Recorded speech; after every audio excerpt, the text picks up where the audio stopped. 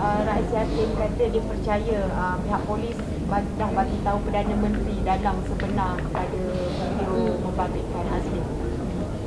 Tanya dia lah. Tapi dia cakap ialah uh, Perdana Menteri yang beritahu dia Saya dah beritahu bahawasanya semalam pun saya dah beritahu kita tidak mahu mendedahkan apa sahaja. Selain daripada siasatan sedang dijalankan dan uh, kita masih lagi dalam siasatan. Eh. So cara mana siasat, apa kita cakap itu saya tidak akan dedahkan. Jadi Jadi bilakah jangka masa untuk confirm video tu ialah video tu No time atau, limit. Ha? Tak- Tidak ada jangka masa, kita sedang berusaha lah. Tapi sudah hantar kepada luar negara untuk buat itu forensik. Untuk Siapa cakap? Okey. Mak tanya ada tak? Saya dah cakap semalam dia tak ada kan ni. Tak ada. Tak ada. Datuk, uh, hari ini kan uh, Datuk Sri Azmin uh, membuat statement mengatakan yang semalam dia dah beri statement kepada polis. Saya sahkan memang sudah pun di uh, uh, dirakamkan percakapan dia. Hmm? Diberi amat ke Datuk? Sudah disahkan.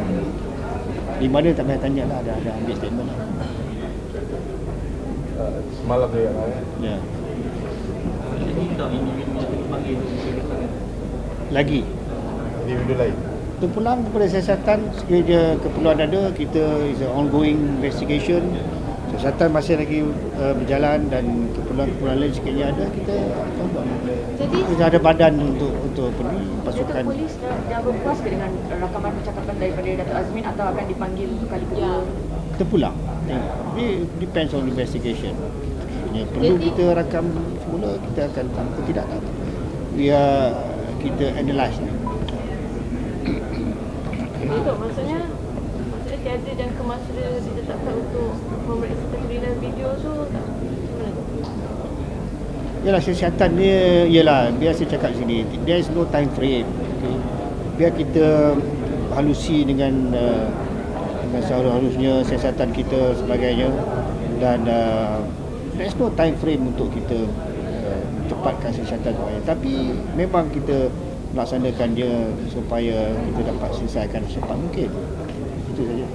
Sorry sir, today, uh, earlier today, uh, Azmin said that the, the video is the work of certain PKR members with links to the Philippines. Do you want to share the comments? no comment. Ada bukti tak? Mengenai keterangan macam mana? Ada keterangan lebih lanjut tak apa yang yang Mana boleh saya cakap apa dalam statement dia? That's this investigation Whatever. Yang kita rasakan perlu kita mengambil percakapan Kita akan panggil Untuk uh, apa ni dirakamkan percakapan dan sebagainya. Termasuk Investigation is ongoing lah ya. termasuk the PKR members yang Yalah saya